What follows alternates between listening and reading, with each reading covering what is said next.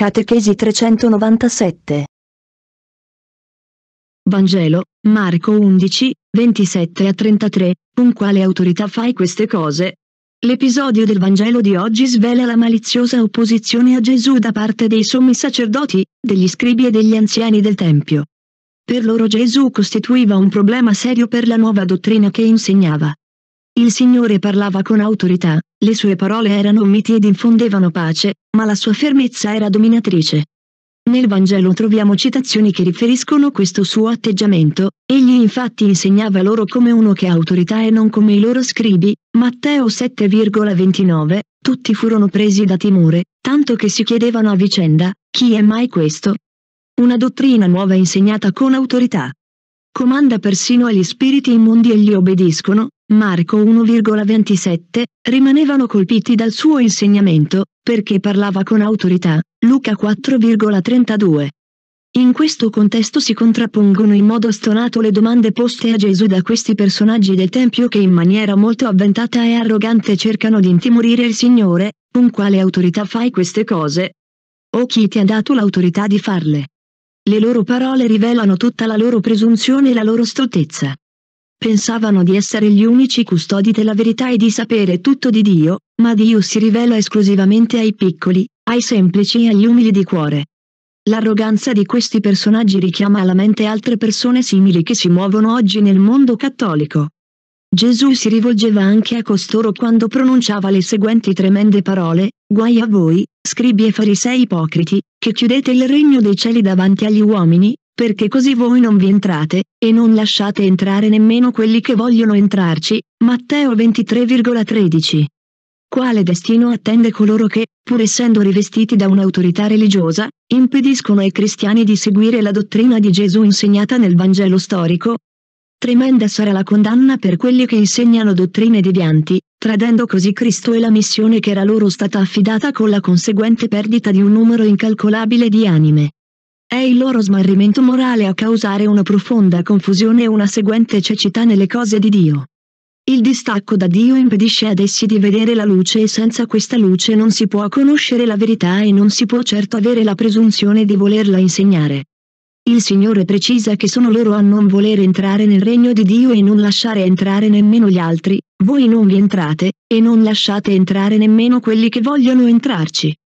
La loro è una scivolata costante ed inesorabile, perché le scelte opposte al Vangelo e alla morale non possono che condurre sempre più in basso. Bisogna fare molta attenzione a tutte le novità dottrinali che circolano oggi e che troppi seguono con estrema imprudenza e superficialità. Vi invito a riflettere attentamente sulle parole dell'Apostolo San Paolo che sembrano proprio adatte a questi nostri tempi, verrà giorno, infatti, in cui non si sopporterà più la sana dottrina, ma per il prurito di udire qualcosa, gli uomini si circonderanno di maestri secondo le proprie voglie, rifiutando di dare ascolto alla verità, per rivolgersi alle favole. Stiamo dunque molto attenti. È certamente molto più facile seguire le nuove tendenze, dove non si dà più importanza al peccato e dove tutto è lecito e permesso, ma queste dottrine conducono dritto all'inferno. Restiamo fedelissimi alla parola di Dio contenuta nel Vangelo storico, nei Dieci Comandamenti e nel Magistero autentico della Chiesa, rifiutando tutte le teorie moderniste dietro le quali si cela astutamente il sibilo del serpente infernale. Buona preghiera a tutti. Vangelo, Matteo 28, 16 a 20, andate dunque e ammaestrate tutte le nazioni, battezzandole nel nome del Padre e del Figlio e dello Spirito Santo. Gesù, prima di ascendere al cielo invia gli apostoli ad evangelizzare il mondo, insegnando loro le parole da pronunciare quando battezzeranno, andate dunque e ammaestrate tutte le nazioni, battezzandole nel nome del Padre e del Figlio e dello Spirito Santo. Le tre persone, Padre, Figlio e Spirito Santo sono un solo Dio. La sostanza è identica, come anche l'essere e lo spirito, una sola volontà in tre persone divine che costituiscono la Santissima Trinità. Dopo aver ricordato i misteri della nostra salvezza, dalla nascita a Betlemme fino alla venuta dello Spirito Santo, la liturgia ci propone il mistero centrale della nostra fede, la Santissima Trinità, fonte di tutti i doni e le grazie, mistero ineffabile della vita intima di Dio. A poco a poco, con sapiente pedagogia, Dio è andato manifestando la sua realtà intima, rivelandoci come Egli è, in se stesso, indipendente da tutto il creato. nell'Antico Testamento fa conoscere soprattutto l'unità del suo essere, completamente distinto dal mondo, e la qualità del suo rapporto con esso, da creatore e Signore. Ci viene insegnato in tanti modi che Dio, a differenza del mondo, è increato, che non è limitato in uno spazio, è immenso, né in un tempo, è eterno. Il suo potere non ha limiti, è onnipotente. Il mistero della Santissima Trinità è il punto di partenza di ogni verità rivelata, e la fonte da cui procede la vita soprannaturale verso la quale tutti siamo diretti. Siamo figli del Padre, fratelli e coeredi del Figlio, continuamente santificati dallo Spirito Santo per somigliare sempre più a Cristo. La Trinità Beatissima, mistero centrale della vita della Chiesa, è continuamente invocata in tutta la liturgia. Nel nome del Padre e del Figlio e dello Spirito Santo siamo stati battezzati, e in questo nome ci vengono perdonati i peccati. Molte preghiere che recitiamo cominciano o finiscono con un'implorazione al Padre, mediata da Gesù Cristo, in unità con lo Spirito Santo. La Trinità è il mistero principale del cristianesimo, ed insieme all'Eucarestia lo distingue da tutte le altre religioni, è il mistero che Dio ha voluto rivelare nella fase conclusiva della missione di Gesù perché tutti comprendessero il corretto significato di un Dio in tre persone. Nella scrittura troviamo per la prima volta la rivelazione di tale mistero nel momento del battesimo del Signore, appena battezzato, Gesù uscì dall'acqua, ed ecco, si aprirono i cieli ed egli vide lo Spirito di Dio scendere come una colomba e venire su di lui. Matteo 3, 16 e 17. Nel Vangelo Gesù parla più volte, in modo chiaro e distintamente, del Padre, del Figlio e dello Spirito, si rivolge a Dio chiamandolo Padre, afferma di essere il Figlio di Dio, ma stupisce maggiormente quando promette agli Apostoli il suo Spirito dopo la sua morte e resurrezione per continuare la sua opera. Gesù non li lascia soli nel loro apostolato pieno di insidie, dona ad essi e poi ai cristiani di tutti i tempi l'ineffabile dono dello Spirito Santo. I cristiani docili alle sue ispirazioni compiono un autentico cammino di fede e raggiungono più facilmente le vette della santità. Nel Vangelo di Giovanni si trovano molti riferimenti al mistero trinitario, soprattutto nei discorsi di addio, ma in nessuna pagina delle scritture troviamo la parola Trinità. Essa comincia a diffondersi nelle comunità cristiane verso la fine del 190 d.C. Con il passare degli anni la comprensione dei misteri divini diventava sempre più chiara, ma già le prime comunità cristiane credevano nel mistero del Dio uno e trino. La Trinità abita nella nostra anima come in un tempio e San Paolo ci fa sapere che l'amore di Dio è stato riversato nei nostri cuori per mezzo dello Spirito Santo che ci è stato dato, Romani 5,5. E lì, nell'intimità dell'anima, dobbiamo imparare a vivere in comunione d'amore con Dio Padre, Dio Figlio e Dio Spirito Santo. Riporto qui sotto una bellissima preghiera composto da una grande santa, innamorata della Santissima Trinità. Si tratta di Santa Elisabetta della Trinità, una suora carmelitana nata nel 1886 e morta ad appena 26 anni, consumata più dall'amore che dalla malattia. Nel cuore di questa giovane suora ardeva un amore inconcepibile per il Signore. Leggere questa preghiera farà tanto bene a noi cristiani di oggi così tepidi e indifferenti, così distratti e sempre con lo sguardo rivolto alle realtà terrene. O mio Dio, Trinità ti adoro, aiutami a dimenticarmi interamente per stabilirmi in te, immobile e quieta come se la mia anima fosse già nell'eternità. Che nulla possa turbare la mia pace, o farmi uscire da te, mio immutabile bene, ma che ogni istante mi porti più addentro nella profondità del tuo mistero.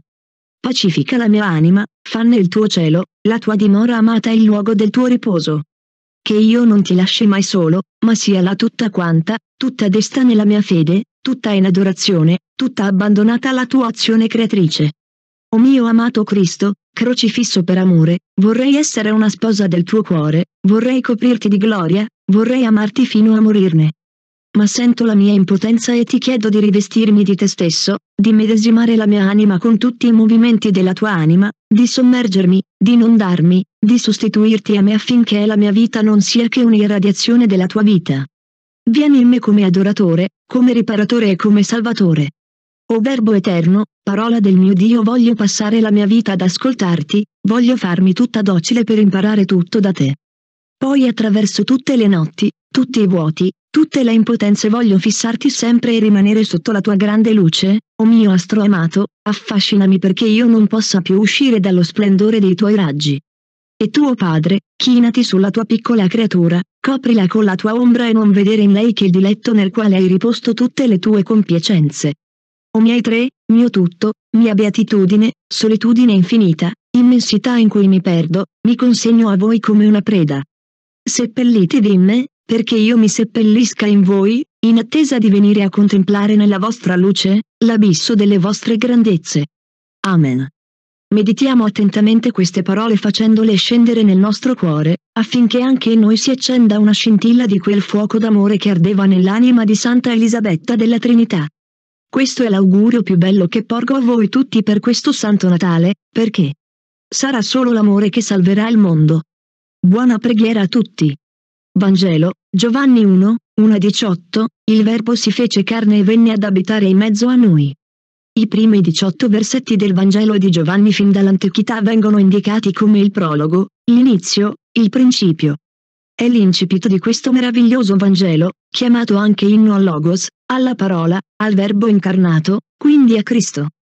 Questo scritto e gli scritti simili, nacquero in una città del cristianesimo delle origini, una determinata comunità che si costituì nell'Asia Minore, precisamente ad Efeso, dove Giovanni era capo delle comunità che si erano costituite anche nei dintorni, sotto l'attenta guida della Vergine Santissima. Per sfuggire alle persecuzioni, la Madonna, Giovanni e altri cristiani si stanziarono nella comunità madre di quel periodo che era in Efeso. Il prologo è stato scritto verso la fine del primo secolo da un testimone eccellente. L'Apostolo Giovanni era molto anziano ed era considerato come il narratore altamente credibile della vita apostolica di Gesù. Ripeteva le parabole in modo perfetto, raccontava i miracoli straordinari compiuti dal Signore con una passione inferiore solo a quella della Madre di Dio. L'Apostolo che più degli altri seguaci comprese l'infinita bontà del cuore di Gesù, penetrò nei misteri divini come pochi, dovuto certamente alla contemplazione sistematica della persona di Gesù. Questo è il modo per crescere nella fede, per elevarsi dalla materia e dal mondo. I grandi contemplativi rimangono lunghe ore ad adorare l'Eucaristia, alternando anche la meditazione della vita di Gesù. L'Apostolo che ha scritto il prologo si è elevato spiritualmente per l'azione dello Spirito Santo che trovava un cuore libero e puro, una umiltà profonda e un grande desiderio di piacere a Dio, rinnegandosi in tutto. La crescita spirituale avviene esclusivamente quando sono presenti queste disposizioni interiori, senza queste non c'è assolutamente neanche una discreta spiritualità. Molti nella Chiesa dovrebbero meditare la vita di San Giovanni per comprendere che Gesù si manifesta esclusivamente nei cuori umili, miti e buoni. Nei cuori che lottano ogni giorno per vincere l'orgoglio e l'egoismo, che cercano di rinnegarsi in tutto ciò che è futile per seguire la volontà di Dio. La stessa meditazione del prologo è un grande aiuto per penetrare il mistero dell'incarnazione del Figlio di Dio e comprendere la ragione della venuta nel mondo e la mancata accoglienza della parola eterna venne fra i suoi, e i suoi non lo hanno accolto. Se consideriamo che Dio ha creato anche la terra, non ci deve sorprendere la sua venuta per vivere nella condizione umana nel luogo da lui creato dal nulla e calpestare il terreno che all'inizio era stato creato puro. L'uomo ha reso impuro il nostro pianeta, sono incalcolabili le sregolatezze e gli abusi ambientali per questioni economiche, ignorando che la violenza compiuta è uguale a uno stupro. Non lo comprendono perché non credono in Dio, ma più avanti ne vedranno gli effetti. Il Verbo è venuto in mezzo a noi per ricordarci chi è Dio e chi siamo noi. Poniamoci queste domande spesso nella giornata. La seconda persona della Trinità Santissima si fa carne nel grembo della Vergine Maria per entrare in comunione con chi lo accoglie, per dare il potere di diventare figli di Dio a quanti credono in Lui. Non tutti gli esseri umani sono figli di Dio, lo sono solamente quelli che fanno parte del corpo mistico, che hanno ricevuto il battesimo. Lo afferma il prologo.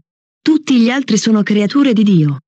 Il Natale lo vivono i cristiani che accolgono Gesù bambino, non tutti però si soffermano a contemplare l'innocente nella mangiatoia e non in una culla pregiata, e non in una reggia, ma in una grotta, riscaldato dall'asinello e dal bue e non dal fuoco acceso nei camini di una fortezza. L'innocente ha scelto una madre povera, ma ricchissima di Dio. Ha scelto un padre putativo umile, ma l'uomo più buono della storia. Ognuno di voi deve guardare anche a Maria Santissima e a San Giuseppe per comprendere la responsabilità e le qualità dei genitori. La seconda persona della Trinità viene nel mondo in un corpo umano, si rende visibile e l'umanità invece vuole rimanere cieca in mano ai diavoli.